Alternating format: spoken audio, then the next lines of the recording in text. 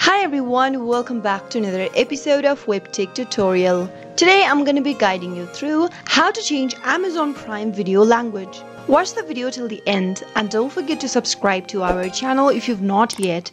Press the notification bell icon so that you'll never miss another upcoming upload from us. Simply open up your Amazon Prime application or if you are doing this on a web browser, open up a web browser. Go to the URL box at the top and type in primevideo.com and press enter on your keyboard. Make sure that you're logged into your Prime Video account and once you are, go to the upper right hand corner and click on your profile drop-down. From the expanded pop-up menu, click on Account and Settings. Right at the top of the screen, you'll be able to see an option that says Language. Click on Language and you'll be able to see a bunch of languages you could choose from. Go ahead and select any language that you'd like to change to and give it a click. Once you choose your language, click Save and that way you'll be able to change your language for Amazon Prime Video. I hope you found the video to be helpful.